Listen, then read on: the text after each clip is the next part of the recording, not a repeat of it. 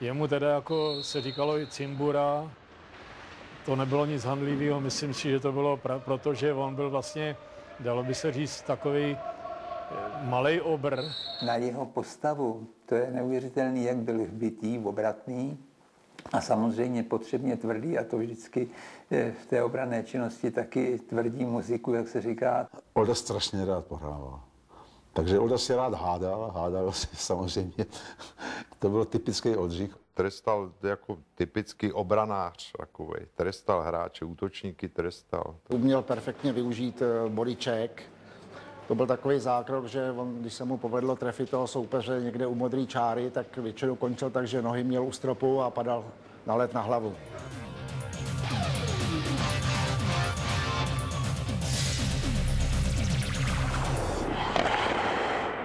Hokej nemůže hrát moc hodný člověk, ten může chodit do taneční, hrát šachy, ale, ale hokej to je tvrdá hra, s tím každý musí počítat a s tím se každý narodil. Oldřich Macháč patří mezi opravdu legendy našeho hokeje a když slyším jeho jméno, tak se mi vybaví okamžitě i Franta Pospíšil. Stejně jako v minulosti, když se vybavilo, když řekl někdo Gut, tak se k tomu vybavilo Tikal. On to s Frantou, s Frantou pasovalo doslova do písmene, protože Franta byl tvořitel a na mě připadla ta úloha toho takového rozbíječe těch útočných akcí toho soupeře. Protože já jsem hrál eh, dobře, docela dobře tělem, neměl jsem strach, měl jsem celkem dobrou střelu, dá se říct, takže já jsem Eh, působil jako ten destrukční živel. Bylo to asi tím, že každý jsme měl jiný styl a jak se říká, protivy se přitahují. Já jsem spíš byl takový hráč, který eh, sice taky uměl přitvrdit, ale dával jsem, když jsem dal bodyček, tak jsem ho dal spíš ramenem. Když to u něj, což bylo mimořádný, že on to dělal vybočením té kyčle a to prostě ty lidi lítali vzduchem a, a končilo to sádrou. No. V nároďáku to byla nerozlučná dvojice. Vymýšleli jednu ptákovinu za druhou, to pořád něco vymýšleli.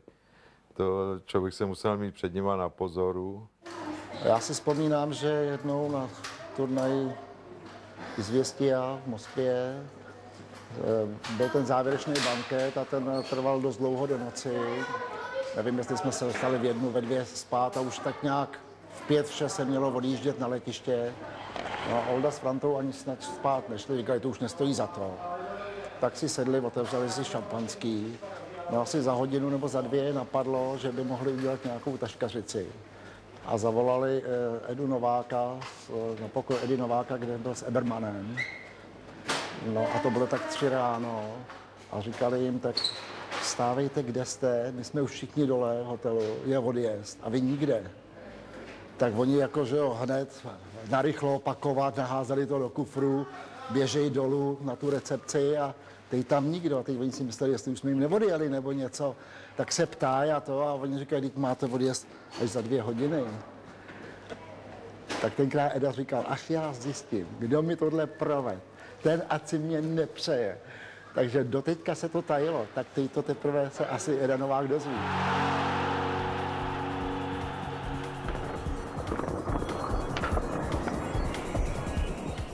Já jsem hrál, už to bylo v Brně, proti Bábkovi a to byl eh, hráč, který byl v mé generaci, ale který byl z Prostějova a taky jsem o Toldy věděl, že kolem něj tam taky vyrůstal ten Olda, takže tam myslím, že byly ty základy a Bábek byl taky jeden z těch takových, bych řekl, tvrdolínů, kteří dokázali tu hru tělem vždycky uplatnit.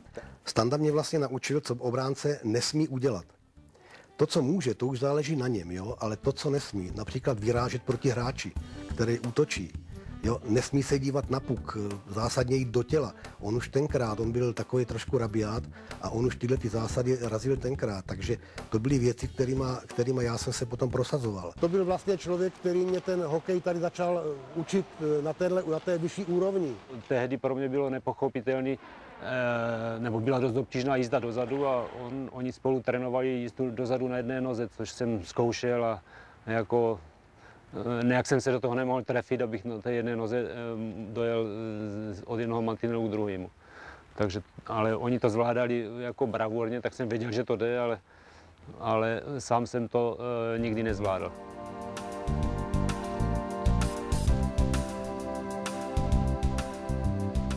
Já jsem bydlel na Kostelecké ulici a pokud někdo je prostějovák a zná to trošku, tak ta Kostelecká to je sportovní ulice vlastně, protože na konci té ulice byl zimní stadion a dva fotbalové stadiony. Takže eh, tenkrát televize nebyla, no tak eh, naše zábava byl sport, to jsme měli dělat. A my jsme vlastně dělali všechny sporty.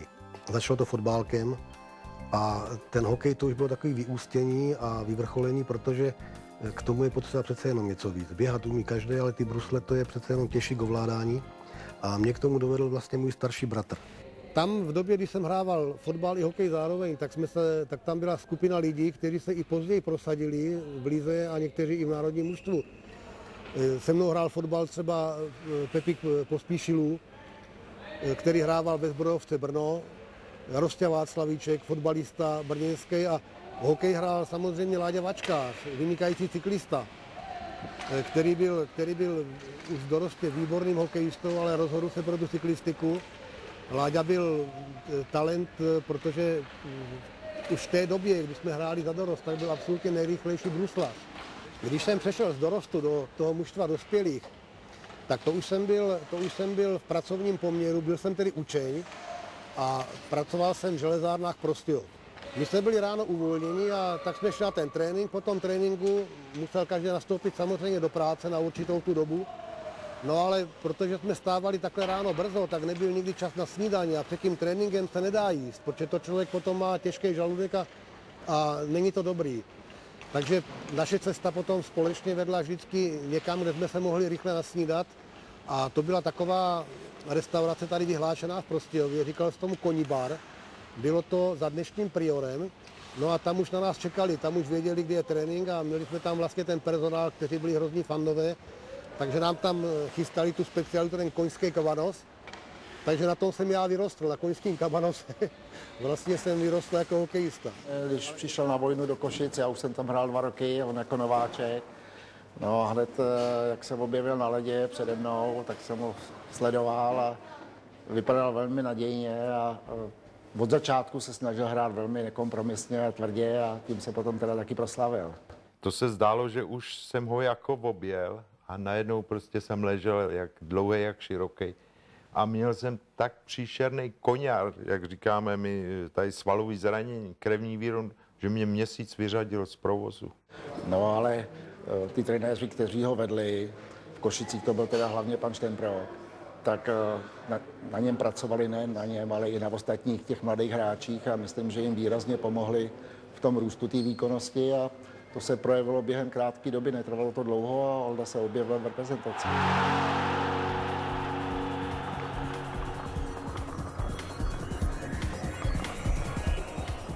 Národní mužstvo, že jo, to pro mě byla, byla taková ta třešínka na tom, na tom pomyslném dortu, protože opravdu to pro nás byla čest a, a já nevím, to byl náš život. Národní mužstvo to byl cíl každého z nás tenkrát. Ta atmosféra tam byla, že jsme strašně chtěli. A někdy to bylo i na škodu, protože náš největší soupeř byli ani ne Kanaděni, ani ne Amerika, Švédové, ale Rusové. To byla ta rivalita mezi náma, která teda se umocnila ještě tím rokem 68. Le général Charles de Gaulle, l'ouverture des 10e Jeux olympiques d'hiver de Grenoble. Olympiáda probíhala pro nás velice, začala velice dobře, protože se nám dařilo a ty soupeře, kterými, na který jsme narazili, tak jsme poráželi a došli jsme až do zápasu e, s Rusy, kdy teda, kdy šlo o to, jestli pokud se nám podaří udělat výsledek, tak máme možnost jít na zlatou olympijskou medaili. Na našej striedačke všetko stojí. Všetko stojí a s napätím sleduje boj, ktorý sa odohráva v našej tretine. Pozor na to, chlapci! Kde je puk? Pod nami. Pod nami tam, kde si pred bránkovou čiarou, ale určite nie za ňou, pretože červené svetlo nesvieti. Celé hľadisko v tejto chvíli drží palce našim chlapcom. 4 sekundy, 3, 2, 1, koniec!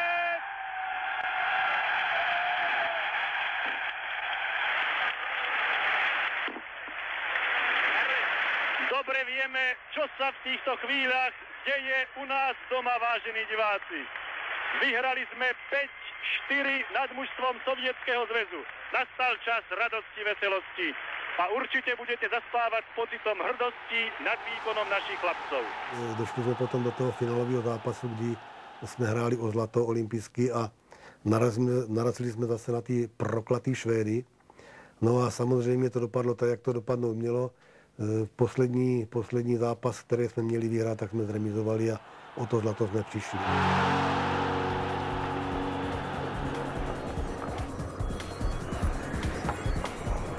Olda vlastně nebyl nikdy bažant, že jo. Olda přišel do manšaftu a během 14 měs- dvou měsíců byl, byl mazák. Snem každého kluka i mým snem samozřejmě bylo někdy se do té komety dostat. Fantastický v Brně byl nástup na ten zápas, protože když tam bylo 11 000 lidí, tak eh, to byl úžasný kotel. A ty lidi dokázali ten, to mužstvo tak strašně věcovat a mm, když jsme nastupovali na let, tak už se řval celý stadion, už se to valí, ta lavina z a takový ty hesla všelijaký. Bylo to strašně krásně a nás to dokázalo vždycky úžasně vyburcovat. Olda byl rychlej, tvrdý, neucouvnul před ničím, že jo. Nikdo mu neujel. Olda byl výborný, o tom jsem se tady nezmínil, Olda byl výborný brusas pozadu. Já si myslím, že v té době nejrychlejší bek pozadu. Já jsem žil vlastně ten svůj hokejový život ve dvou rolích. Já, ta jedna role byla kometa a ta hra vlastně v mužstvu ligovým a ta druhá role byla v národním mužstvu. V národním mužstvu to bylo, dá se říct, trošku jednodušší, protože já jsem hrál s Frantou Pospíšilem, to je známo samozřejmě. My jsme se velmi dobře doplňovali a moje role tam byla spíš taková ta destrukční. On byl vlastně levák na pravé straně, já jsem mu to posunul na modrý čáře a on to byl z první a že měl takový teda vrtačky, opravdu to byla rána, jako když prostě vystřelí z praku, takže to byla další naše přednost. To byly nekompromisní střely a když ten brankář měl trošku zasloněný výhled, tak neměl šanci.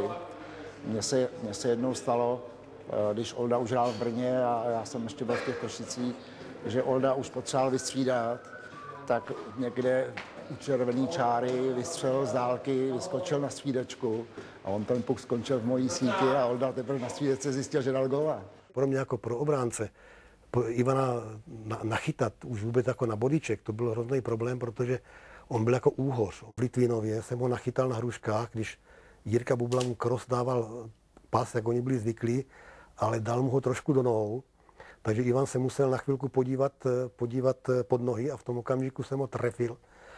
Byla to teda pořádná rána, protože Ivan měl svých 100 kg a, a já jsem měl 90, takže ono to byl teda, když se srazí dva nákladní, nákladní vozy a Hlína potom, když se zpamatoval, otřepal, protože vždycky na tom hůř ten, kdo jede rychleji. Tady se otřepal, tak potom přišel a říká, ty vole, já prej myslel, že jsem vrazil do vrat od garáže. já jsem byl kapitánem určitou dobu v Brně a tady ta hra se opírala o několik hráčů, protože vždycky máte v mužstvu takový ty pilíře, tahouny a já, i když to možná bude znít neskromně, tak jsem tady v Brně měl patřit k, i k těm, k těm pilířům.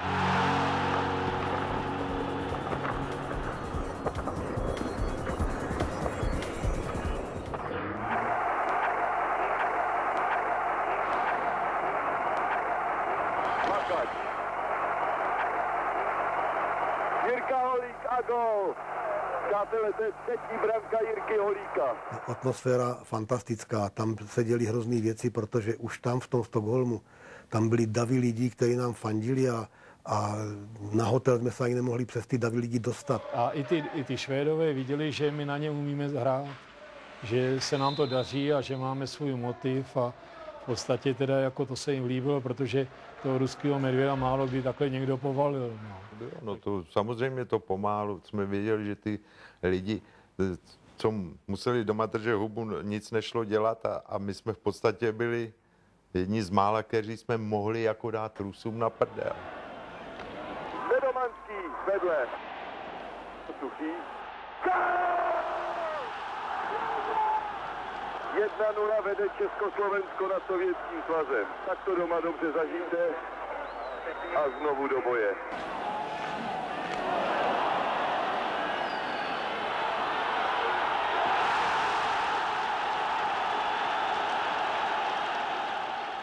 My jsme jeli po zápase v autobusu a s námi jeli američani a zpívali s námi českou hymnu v autobuse a to bylo něco, něco ohromného, co se tam jako dělo. Jo, tam. Přestože československý tým ztratil v zápasech se Švédy titul mistrů světa a vracel se s bronzovými medailemi, hokej ovládl malou zemi. Ty výsledky ve Stockholmu, které jsme tam dosáhli, to bylo to 2-0 a 4-3, tak ty byly, to byly takový symboly, které byly napsané na mnoha zdech ještě dlouhou dobu. Ještě nedávno na trase Krom, Kroměříž a Výškov na Vrate Hostodoly ty výsledky byly na každý půlce, na jedné 2-0 a na druhé bylo 4-3.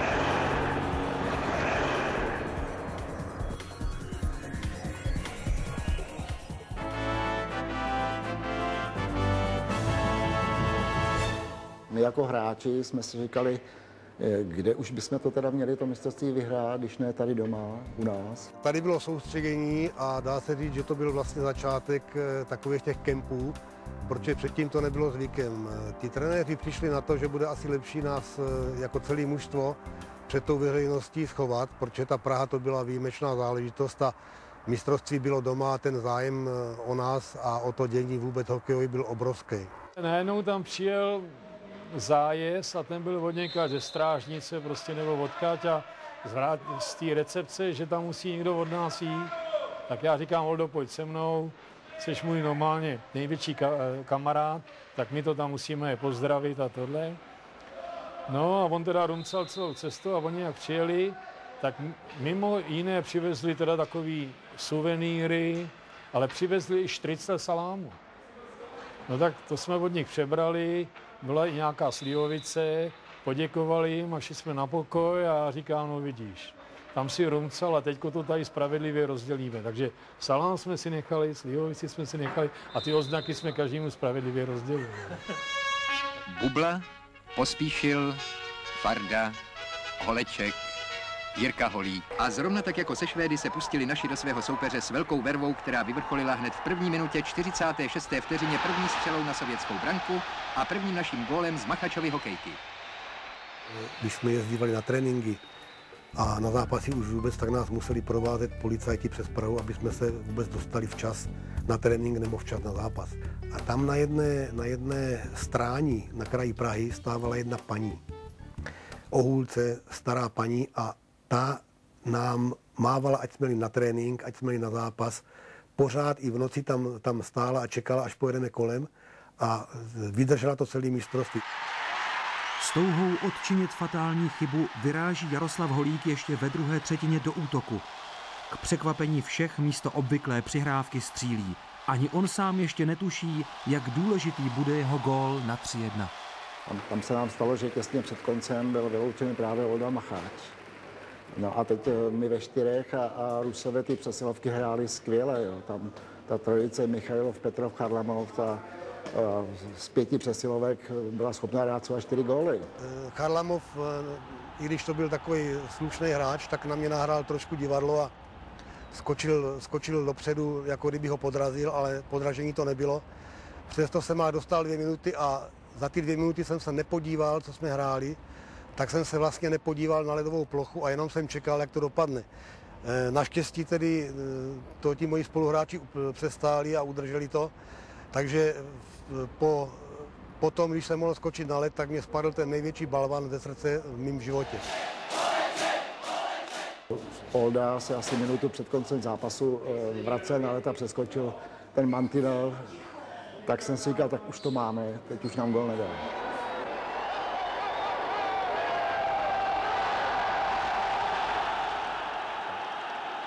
Když se nám podařilo tedy Sověty porazit a vyhrát tady to mistrovství, to, bylo, to byl zážitek, který se nedá popsat. Kdo to nezažil, tak to nemůže pochopit. Když jsme s Frantou měli možnost vzít ten pohár do obou rukou, do každé do jedné ruky a obět s tím do hřiště, to je sen každého hokejisty a mně se ten sen opravdu splnil.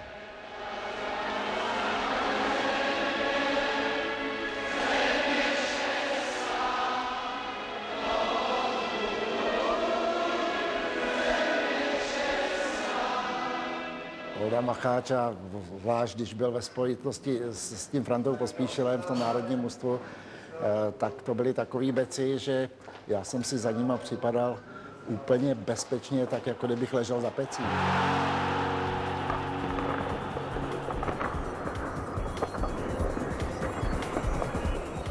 To byl první zápas eh, v tom turnaji s Kanadou a tam se naprosto projevil ten začátek toho, že nás podcenili. Že, vůbec jako říkali, to odehrajeme tady ani možná bez bruslí a za, zajímavost tam byla, že Vlad Dzurila, který ten zápas chytal, byl místo Jirku Holečka nominován, tak eh, při tom vstupu na ten led tak uklouzl a upadl. No v tom okamžiku ta hala to se smála celá a říkali si, jaký nazdaři sem přijeli, co tady vlastně chcou dělat, neumí ani bruslit. Začíná peklo, Sittler sráží pospíšila. V zápětí Gejny atakuje v druhém rohu Machače. Kanaďané bez servítku hájí svou modrou čáru. Podobně jsou na ledě přivítány další československé pětky. Ebermana při prvním střídání sráží nemilosrdně Perolt. Marian Šťastný se pokouší proniknout do útočného pásma a naráží na tvrdého obránce Potvéna. Pouzar prochází kličkou přes Bobbyho Hala, ale v zápětí ho znovu atakuje Potvén. Na Augustu číhá ve středním pásmu ramenatý Robinson. Trvalo nám zhruba 10 minut, než jsme se z toho, z toho jejich tlaku a z takového toho překvapení dostali, ale potom už jsme odehráli naprosto vyrovnanou partii. V tom zápase mm, podal fantastický výkon Vlado Zurila. Augusta vyhýbá se kanadské obraně nalevo, dostává se do dobré pozice, předává novému zcela a puk je v síti. Milan Nový střílí gol. Že my jsme ten zápas k zděšení přímo té Kanady celé vyhráli 1-0. Když se zeptali eh, novináři kanačtí, co říká českému mužstvu, tak tehdy ještě než to se dostali jsme do finále, tak říkal, mají opravdu hezké drézy. My jsme opravdu odehráli fantastický zápas, stejně tak ta Kanada to mělo eh, na tu dobu parametry opravdu naprosto špičkového eh, světového hokeje. My jsme převzali od nich eh, to zrychlení té hry, nastřelování puků, i tu větší tvrdost. Oni od nás převzali, nebo z Evropy převzali tady tu kombinační hru, nezištnost při hrávce, protože to u nich předtím nebylo. Tam hráč střelil i z rohu. Mohli tam stát tři hráči s před bránkou, nenahráli jim to. Ten finálový zápas to bylo naprosto, naprosto jasný srovnání těch dvou stylů kde vítěz eh, byla nakonec Kanada sice, ale ta, ta úroveň té hry byla úžasná na obou stranách. Tam eh, po tom zápase došlo eh, na Kanadu k nevýdané věci. My jsme jim nabídli výměnu dresu, což se v Kanadě nikdy nedělalo, protože nebyl důvod. A oni na to hned přistoupili a já jsem měl to štěstí, že jsem si jako hráč se čtverkou měnil dres eh, s Bobím Orem. Ten dres dneska vysí v síni slávy, bude tam půl roku a dalšího půl roku bude v soukromé síni slávy Bobího Ora. No a ten Bobby mě poslal za odměnu, že jsem umožnil tady tuto, tento zážitek pro ty diváky, mě poslal dres svůj klubový tady s tím věnováním. To je ta historie toho, proč ten dres vlastně mám. Drahému příteli Bobby Orr, to je od něho hezký, musím uznat.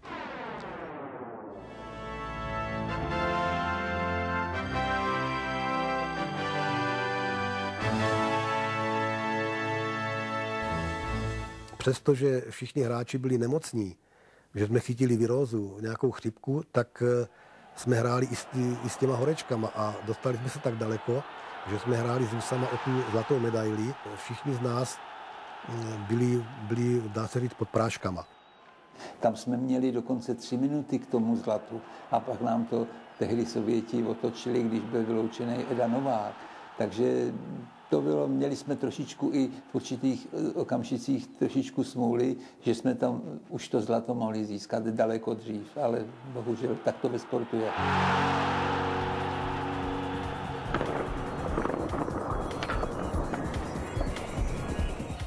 Nám jako prvním, to byl Jirka Holík, já, Franta Pospíšil, Vlado Dzurila, tak my vlastně čtyři jsme byli první vyslanci, kterým bylo umožněno hrát ten profi hokej v západní Evropě, ale do Kanady stejně tak a do Spojených států nás nepustili.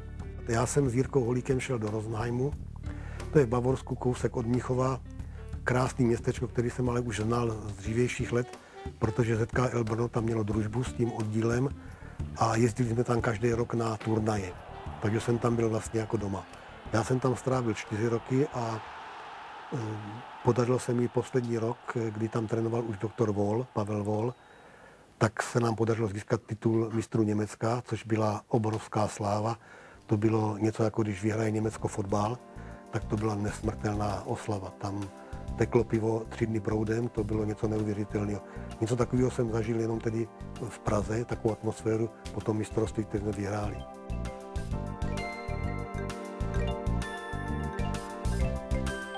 Pokud eh, někdo nechtěl emigrovat, no tak, eh, že jo, a to byl můj případ, já jsem v životě nemohl odejít z republiky, protože jsem tady měl rodinu, měl jsem tady maminku a já jsem vždycky říkal, že když mě dojdou buchty, tak se musím vrátit domů. Já jsem nebyl ten typ, který by šel do, téhle, do, do nejistoty a abych všechno zabalil tady a práskl dveřma a odešel. Nešlo to. Ten sport vás vychovává k tomu, že se pohybujete v určitých pravidlech a ten život má určitý mantinely. Ten hráč ví, že když udělá faul, takže jde na trestnou lavici nebo do konce zápasu, to už podle výběru a je tam rozhodčí, který to okamžitě usměrňuje. To bohužel v životě až tak neplatí. A postupem jsem zjistil, že ten sport je handicap, že ta pravidla, které člověk uznává i v životě, že ti ostatní neuznávají. Počkej,